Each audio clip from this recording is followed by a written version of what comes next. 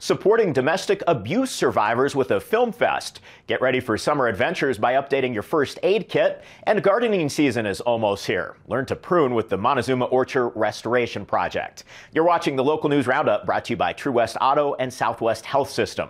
I'm Connor Shreve. The second annual LunaFest, featuring films about and made by women, is scheduled for Saturday, April 15th at Destination Grill. Films are intended to inspire viewers to be an agent of change for their communities, and organizers say the films do have something for everyone. The evening will benefit a nonprofit that works to empower survivors of domestic violence and sexual assault. Renew's mission is to provide assistance to survivors of intimate partner violence, adult sexual assault, and adult survivors of child sexual abuse through crisis intervention, public education, and awareness.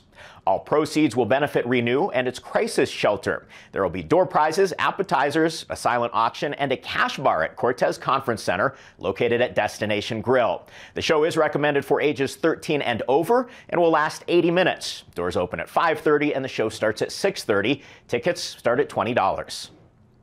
The Dolores Public Library will host a class on how to build outdoor first aid kits. Thursday, March 30th at 5:30 p.m. The class will be taught by doctors Jay and Amanda Mullen and include lessons on how to use a tourniquet, EpiPen, splint, and more. Participants are encouraged to bring their own first aid kit for discussion and feedback.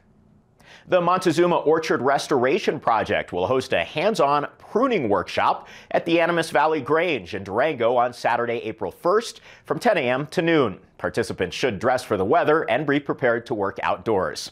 More information and registration for the workshop are available online at montezumaorchard.org. Learn more about these and other stories at montezumalocal.news. Thanks for watching this edition of the Local News Roundup. I'm Connor Shreve.